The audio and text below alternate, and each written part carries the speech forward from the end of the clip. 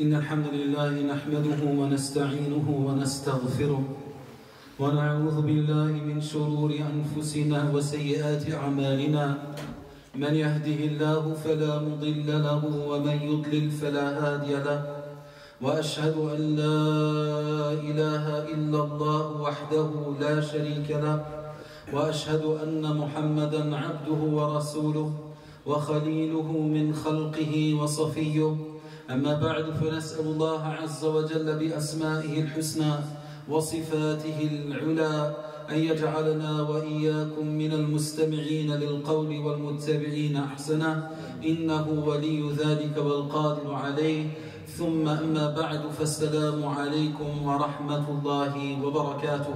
With the will of Allah Jalla wa ala subhanahu wa ta'ala we are still looking at these beautiful names of Allah subhanahu wa ta'ala. We have been talking about the name of Allah Jalla wa ala al-Malik. Al-Malik al-Malik, the king, the owner of everybody and everything.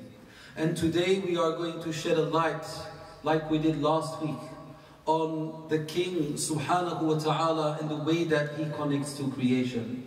Very often when we look at the ways we connect to the names of Allah subhanahu wa ta'ala, it seems that we are cherry picking which names of Allah we want to meet in our lives. It looks like we only want the positive part in our lives. We want to see that Allah is the giver. We want to see that Allah is the one that honors you, that enriches you, the one that protects you, the one that gives you, the one that answers your call. We want to see that part of our interaction with Allah in this life. But the moment that Allah Jalla wa ala manifests Himself in our lives by means of testing us, by means of withholding from us what we love, by means of a pain which we do not understand and we can't get rid of in our lives. It seems that whenever we are going through problems, that we are disconnecting this from the Maker Jalla wa ala subhanahu wa ta'ala. And this is why Allah Jalla wa ala, He shared with us in the Quran. And this is why Rasulullah sallallahu alayhi wa shared with us in the Sunnah the benefits and the merits of being tested so that we not become a rebel against Allah's will. Yani Allah showed us what the merits and benefits are in being tested so that we would not object, so that we would not resist, so that we would not say that Allah is being unjust, so that we, in reality, Allah doesn't have to give us a reason. In reality, the king does whatever he wants with whomever he wants and he should not be questioned and he should not be asked, وَقِفُوهُمْ إِنَّهُمْ مَسْئُولُونَ Let them, them wait on judgment day. Let them stop. Hold on. Stay there. They are the ones who are being questioned. Questioned. لا يسأل عما يفعل. Like we said, Allah is not asked, never asked. On the day of judgment, when you go back to Allah Jalla wa ala, you can't say, Ya Rabbi, I was a very good person in my life, but nevertheless, the one that wronged me was the one that succeeded in his life. The one that was jealous of me was the one that took my job. The one that wanted to destroy me by gossiping, he was able to achieve what he wanted. I lost my friends because of that, Ya Rabbi. Ya Rabbi this, Ya Rabbi that, Ya Rabbi such, and Ya Rabbi such. The problem is that your value is not connected to what people consider to be a value. It is connected to that which Allah has told us to be a value. فَمَنْ زُحْزِحَ عَنِ النَّارِ وَأُدْخِلَ الْجَنَّةَ فَقَدْ فَاسْ The one that escapes from hell and enters into paradise is the true winner. He is the one that is prosperous. No matter what you lost in this life, Allah will re-establish that in the hereafter and better than you have lost in this life. So this is why we want to have a look. What Allah and His Messenger sallallahu alaihi wasallam has shared with us, what we can expect if we are patient in our tests and in reality. We are more in love when being tested than we are in need of, of, of patience. We are more in need of love than we are in need of patience. Do you know why?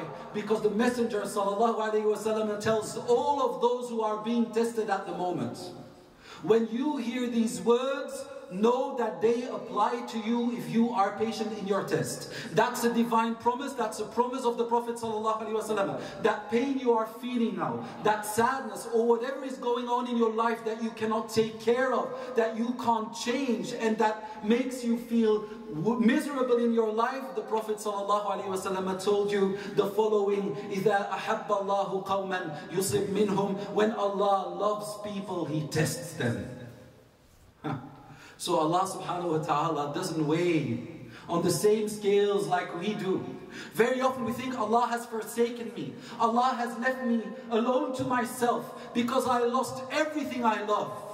I lost my money, I lost my job, I lost my health, I lost my wealth, I lost my status, I lost my wife, I lost my mother, my grandmother, my father, I lost everything. As long, my friend, as you didn't lose Allah, you losing everything is not a sign that Allah has left you.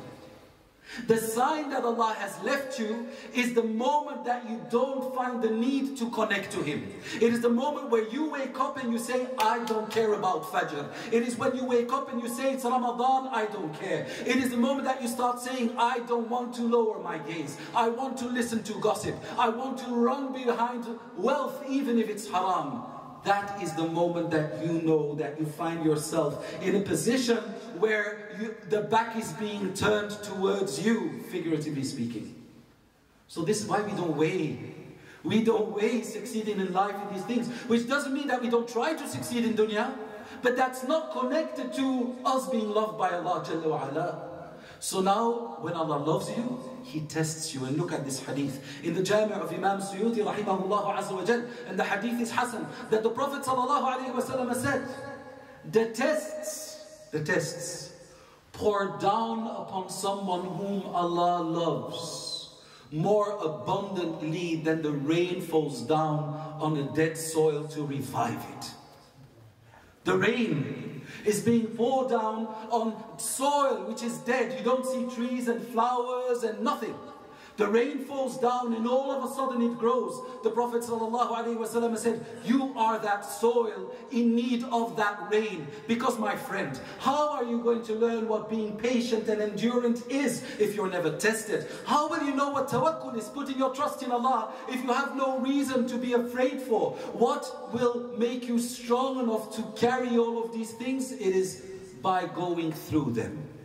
By going through these tests of life, we are actually looking into the mirror and we say, well, I still have to work on my patience. Well, I still have to work on my sincerity. Well, I still have to work on this and on that. These tests are a mirror which Allah holds in front of you so that you know who you are. Because we don't take time to look at who we are. We don't have time to do that. We are competing in a rat race. We are always looking towards the future, but never looking at the present person we are right now. So Allah says, stop that rat race. Because if I let you like that, and if I don't stop you, and I don't show that mirror to you, you will throw yourself into the pits of hellfire, my friend. And this is what we do when we love people. When we see that they are going on a wrong path, treading on a wrong path, we stop them. We tell them, watch out for what you're doing. Don't you see what the consequences can be of what you are doing? That is where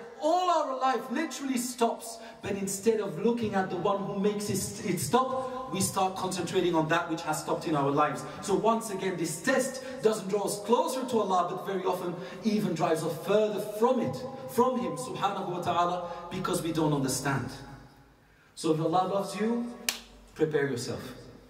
The more He loves you, the more that you will be tested. And that sounds very strange, but what would you like?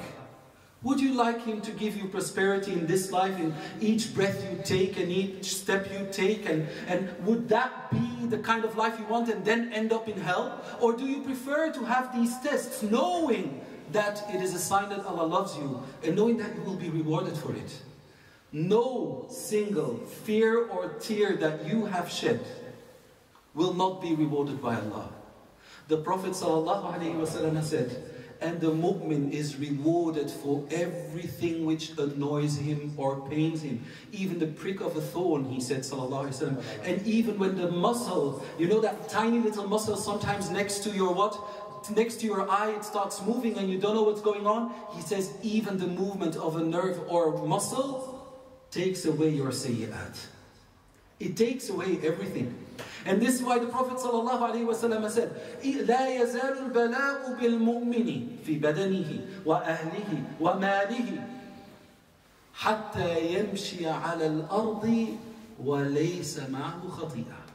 And in a riwayah, كَيَوْمِ وَلَدَتْهُ أُمُّهُ He said, and the bala, the test will remain in the life, the wealth, the health and the family of the believer until he walks on the face of, of the earth, until he's walking on planet earth, كَيَوْمِ وَلَدَتْهُ أُمُّهُ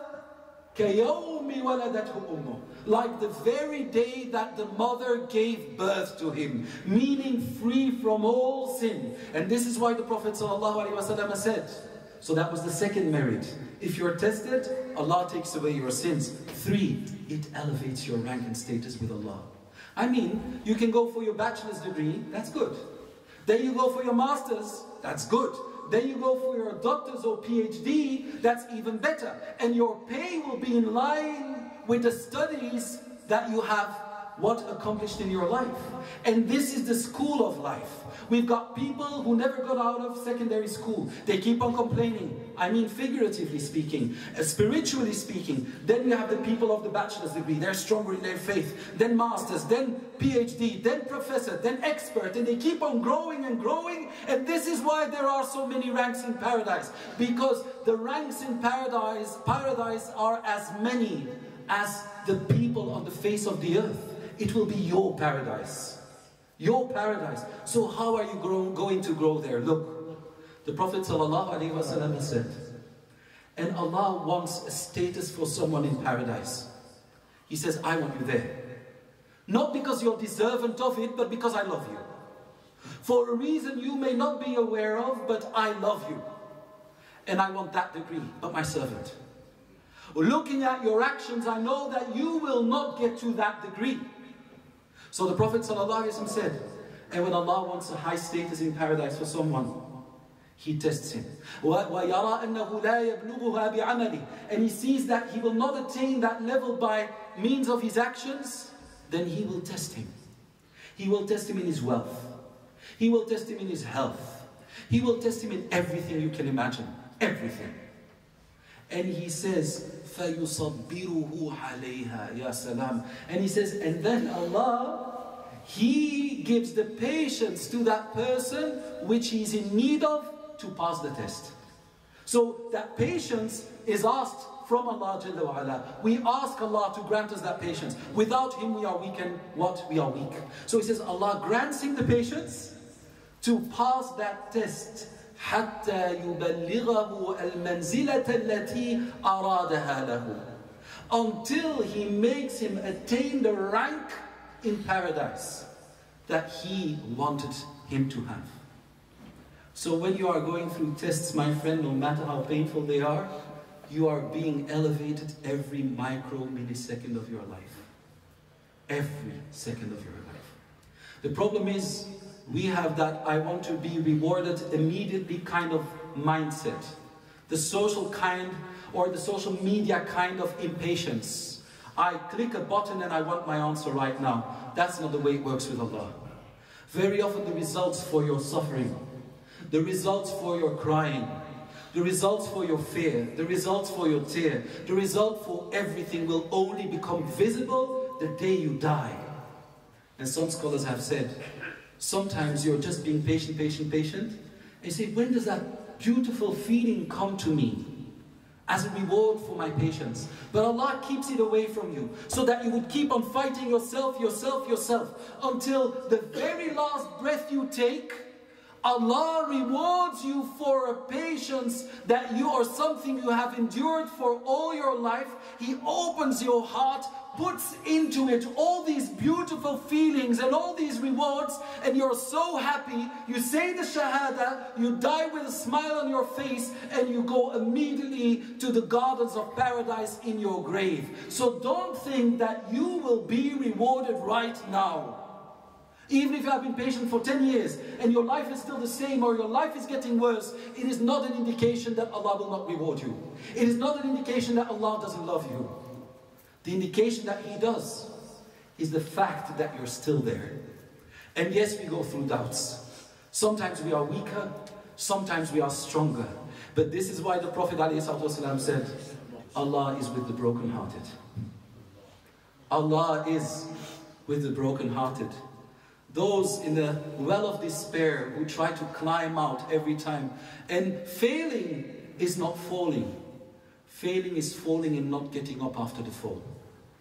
So whatever happens, when you fall, get up. When you fall, get up. When you fall, get up. Until one day you get up in your grave and Allah said, I saved you from your last fall. From now on, you will never fail and you will never fall. You will never fail and you will never, never, never fall. I ask Allah Jalla to make this beneficial, Ya Rabbil Alameen. Wa akhiru da'wan, alhamdulillah. الحمد لله كثيرا كما امر والصلاه والسلام على خير وافضل البشر سيدنا محمد صلى الله عليه وسلم وعلى جميع من اقتفى الاثر the more beautiful you want your house to be your new built house the longer it will take and the more you have to invest that's the way it works in this life and that's the way it works in the it works in the next and one of these building stones these stones that you build your paradise with is patience while you are being tested. أم حسبتم أن تدخلوا الجنة ولما يأتكم مثل الذين خلوا من قبلكم مستهم البأساء والضراء وزلزلوا حتى يقول الرسول والذين آمنوا معه متى نصر الله ألا إن نصر الله قريب Allah subhanahu wa ta'ala says in Surah Al-Baqarah, do you really expect and think that you will enter paradise? Without you being tested with exactly the same as the generations before you? They were afflicted by problems and war and suffering.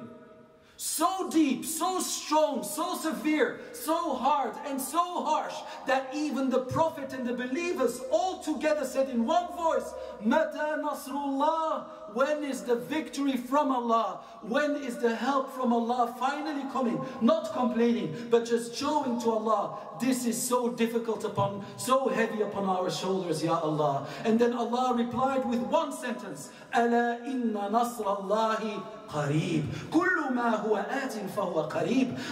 Allah said, certainly the victory that Allah will give you, the help that you will get is nearby. So Allah says, do you really think? Do you think? أحسب الناس أن يتركوا أن يقولوا آمنا وهم لا يفتنون Allah says in Surah Al-Ankabut, do, you, do people really think that they say, I believe, and that they will not be tested in their belief? We are being tested day and night. We are the ummah of ibtila. We are the ummah of being tested, but we are the ummah of passing the test.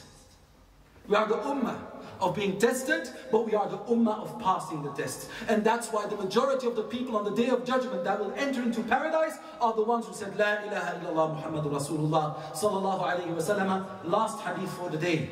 The Prophet sallallahu alayhi wasallam said on Yawm al-Qiyamah, people will come and they will long, they will long to have been tested more. Remember? Been tested more in their worldly life. They said, Men hum ya Rasulullah? Who are these people, ya Rasulullah? Sallallahu alayhi wasallam. He said, This is the moment where they see what people who were afflicted with will be rewarded with.